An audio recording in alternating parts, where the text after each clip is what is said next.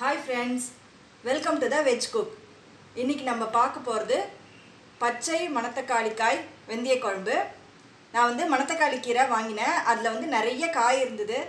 சரி அந்த காயை வேஸ்ட் பண்ண வேண்டாமே அப்படின்னு சொல்லிட்டு இந்த வெந்தய குழம்பு பண்ணியிருக்கேன். வாங்க எப்படி செய்யலான்னு பார்க்கலாம். இந்த வெந்தய குழம்பு பண்ணுறதுக்கு ஒரு பொடி ஒன்று ப்ரிப்பேர் பண்ணிக்க போகிறோம் அதுக்கு தேவையான இன்க்ரீடியன்ட் சொல்கிறேன் இது தனியா இந்த கரண்டியில் ஒரு கரண்டி தனியா எடுத்துட்டுருக்கேன். முக்கால் கரண்டி துவரம்பருப்பு அரைக்கரண்டி கடலைப்பருப்பு ஒரு டீஸ்பூன் மிளகு ஒரு அஞ்சு குண்டு மிளகாய் அரை ஸ்பூன் வெந்தயம். இது எல்லாத்தையும் நம்ம ட்ரை ரோஸ்ட் பண்ணி பொடிச்சுக்க போகிறோம் வெந்தயம் மட்டும் லாஸ்ட்டில் சேர்த்துக்கோங்க. மீதி எல்லாம் வந்து ட்ரை ரோஸ்ட் பண்ணி பொடிச்சிக்கலாம். இந்த குழம்பு வந்து எல்லா விதமான புளி சேர்த்த குழம்புக்கு வத்த குழம்புக்கு எல்லாத்துக்குமே இந்த பொடி யூஸ் பண்ணிக்கலாம்.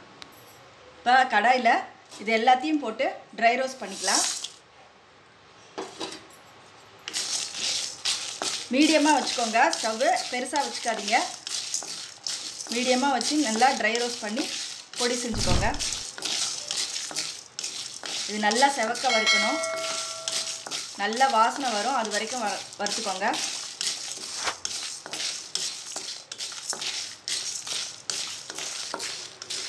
இப்போ பருப்புகள்லாம் நல்லா செவந்தாச்சு. கொஞ்சம் கருவேப்பிலை இதில் போட்டுக்கோங்க.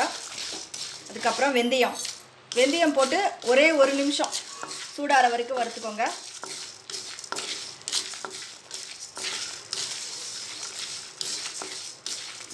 இப்போ சுவிட்ச் ஆஃப் பண்ணிடலாம். இதை நல்லா மிக்சியில் போட்டு பவுடர் ஆக்கி வச்சுக்கோங்க. இப்போ வானொலியில் ஒரு குழிக்கரண்டி நல்லெண்ணெய் விட்டுருக்கேன்.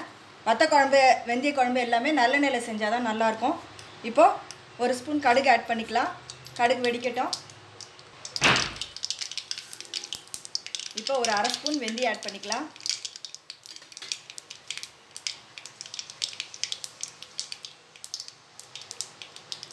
இதில் ரெண்டு சிகப்பு மிளகாய் கொஞ்சம் பெருங்காயம் ஒரு ஸ்பூன் துவரம்பருப்பு ஒரு ஸ்பூன் கடலைப்பருப்பு இதை தாளிப்பில் சேர்த்துக்கலாம். நல்லா கலந்து விடுங்க.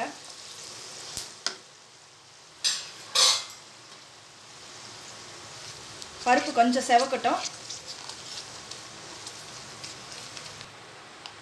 இப்போது இது பச்சை மணத்தக்காளி காய் இது போட்ட உடனே வெடிக்கும் படப்படன்னு அதனால் பயந்துடாதீங்க. இது போட்டுட்டு ஒரு தட்டு வச்சு க்ளோஸ் பண்ணிக்கோங்க.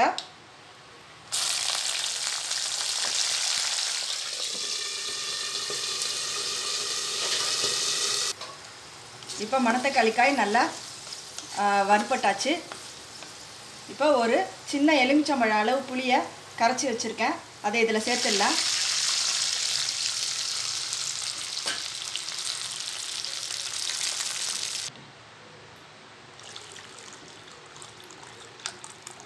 புளி தண்ணி ஆட் பண்ண பிறகு மஞ்சள் பொடி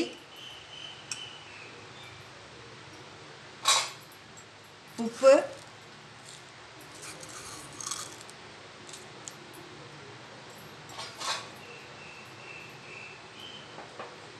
அப்புறம் நம்ம வறுத்தரைச்ச இந்த பொடி.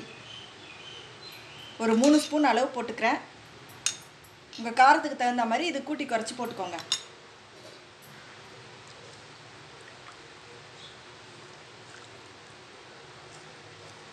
இதை நல்லா கலந்து விட்டுக்கோங்க. இது ஒரு ஃபைவ் மினிட்ஸ் கொதிக்கட்டும் நல்லா. இப்போ நம்மளோட பச்சை மணத்தக்காளி காய் குழம்பு ரெடி ஆகிட்டு இது வந்து இதில் லாஸ்ட்டில் கொஞ்சோண்டு வெள்ளம் ஆட் பண்ணிக்கலாம். வெள்ளம் ஆட் பண்ணி ஒரே ஒரு நிமிஷம் மட்டும் கொதிக்க விடுங்க. நல்லா கலந்து விட்டுட்டு ஒரு நிமிஷம் கொதிக்க விட்டு இறக்கிடுங்க. நம்மளோட குழம்பு இப்போ ரெடி ஆயிடுச்சு. நீங்களும் செஞ்சு பாருங்கள் ரொம்ப டேஸ்டியாக இருக்கும். எப்படி இருந்ததுன்னு கமெண்ட்ஸில் சொல்லுங்கள் தேங்க்யூ